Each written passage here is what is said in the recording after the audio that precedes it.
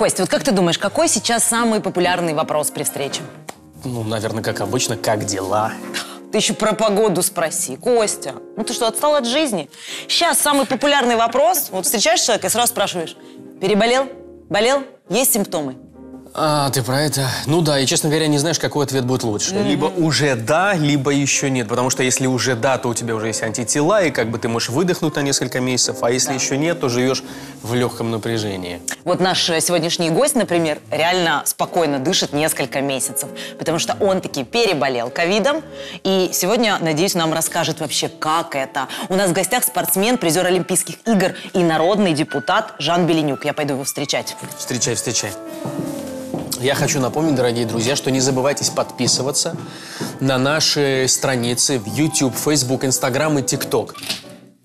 Привет, доброе утро. Доброе, доброе. Заходи.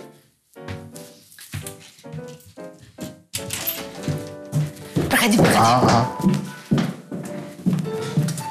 Доброе утро, пожалуйста, Доброе. проходите на шаги. Я вот думаю, если потрогать Жана, антитела, они тоже передают? Я думаю, нет. А, жалко. Не таким образом. Доброе утро. Прости, мы сразу будем в тебя очень внимательно всматриваться, ну, как человек, который пережил это все. Как он выглядит? Нормально Какие выглядишь, слушай, все Хорошо. здоровенько, хорошо. Ну, я уже пол- полностью просто восстановился. Ага, э, расскажи вообще, как это было? Ну, как было? Как у всех, наверное. Заболел, у нас на базе была небольшая вспышка. Ребята, ну, кто-то занес. И учитывая то, что у нас постоянно смена партнеров э, в тренировочном процессе, буквально за одну тренировку полсборная заразилась. Вот. И нас распустили. Я поначалу сдал негативный тест, экспресс. А, Вот. Но потом, через пару дней, начал себя чувствовать не очень. Не мог... А что, какие симптомы были?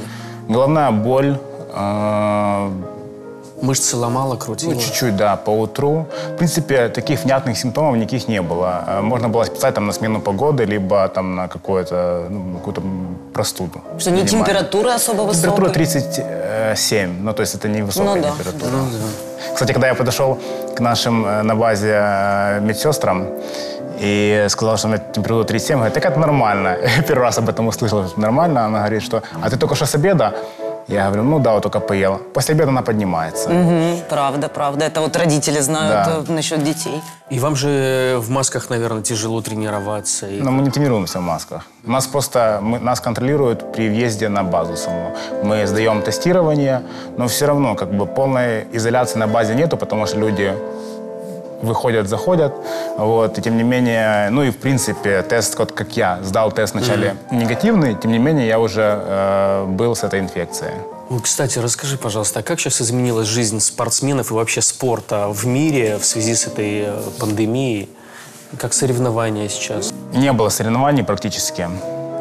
Очень, э, скажем так, э, какие-то там ну, ситуативные в э, различных регионах, различных стран, то есть там для своих, скажем так, проводились, вот, для того, чтобы люди не забывали, что такое борьба и, и имели хоть какую-то борцовскую практику.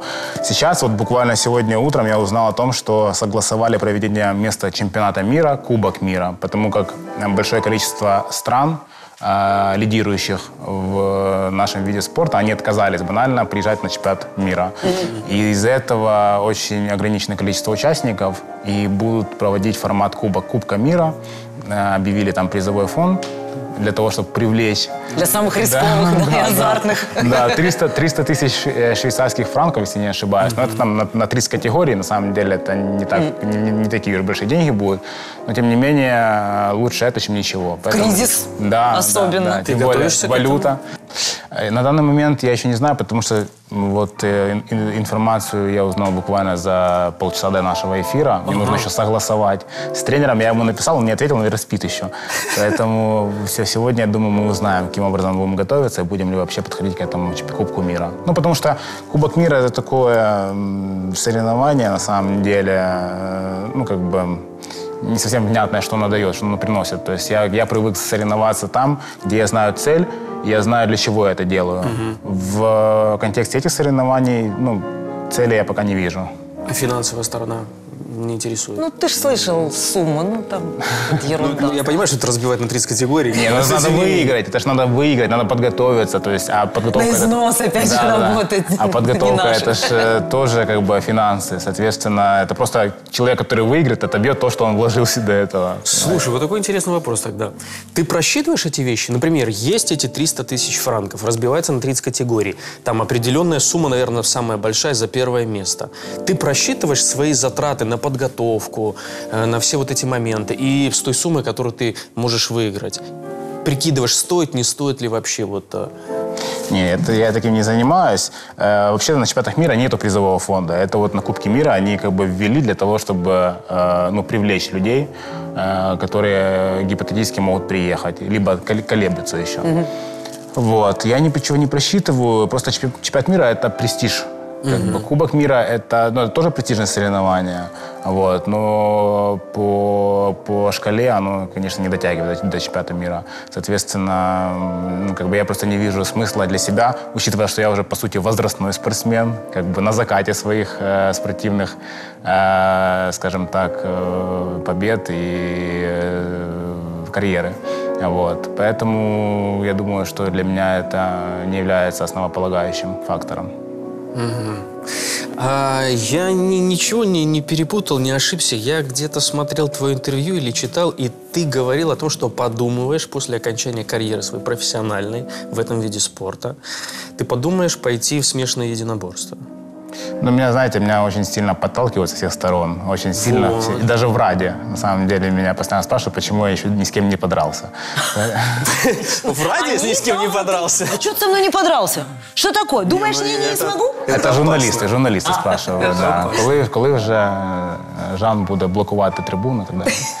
Поэтому все со всех сторон подталкивают. Естественно, у нас так сложилось, что из нашего вида спорта, из вольной борьбы, из греко-римской, некоторые ребята достаточно успешно выступают в UFC, показывают, там завоевывают э, титулы, пояса. И, соответственно, многие спрашивают, ну куда ты уже? Вот это как бы следующая ступень. Я говорю, ребята, подождите, мне нужно тут разобраться, потом уже переходить, скажем, в следующий этап. Мы, Подвел, мы не подвел, давай. подталкиваем, мы просто как бы интересуемся. Но ты как? Ты настроен, не настроен? Ты думаешь об этом в эту сторону? Заниматься UFC, не заниматься? Я в любом случае попробую хотя бы потренироваться. То есть я такой человек, что если я буду видеть, что я не подхожу, либо я не готов, я не буду лезть в то, э, скажем, где э, итог чего может сказать, можно так сказать, бы- быть не, не прогнозируем и достаточно печален. Соответственно, я думаю, что Э, Потренироваться это безопасно. Вот. В любом случае, там они в шлемах тренируются.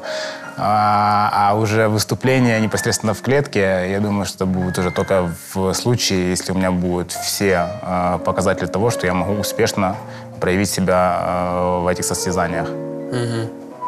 Скажи, все-таки меня интересует твоя политическая деятельность. У тебя есть какие-то амбиции в политике п- дальше, чем э, депутат? Вы знаете, я решаю проблемы по мере их поступления. В данный момент, да, на данный момент как бы я почему нет? стараюсь максимально быть полезен на своем месте.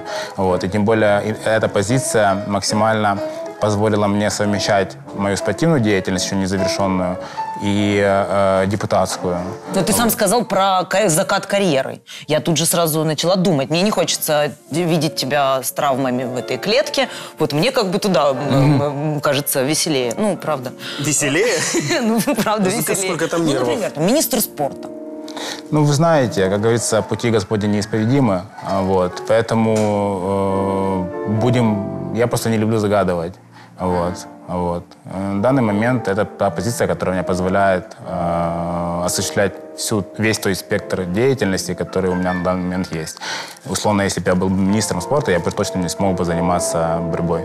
Нужно полностью себе посвящать Ну, а так я хочу быть именно депутатом, который выиграет Олимпийские игры. Представляете? Какой-то, ну, просто, просто чемпионы Олимпийских игр бывают, а депутат, вот я чемпионат мира выиграл в статусе народного депутата. Мне кажется, такого еще никогда не было. Жан, слушай, хочется тебе пожелать, ну, естественно, вот после, сразу после золота на Олимпийских, потом мы, чтобы начали за тебя болеть все-таки еще и за твою политическую карьеру. Ну, сейчас мы будем начинать э, уже будет потихоньку болеть. Да? Хорошо. Все, тогда мы начинаем болеть, а ты больше, пожалуйста, не болей, береги себя. Спасибо. И э, спасибо тебе за то, что пришел. Спасибо, Спасибо за приглашение. Интересно. Пойдем я тебя проведу. Интересно.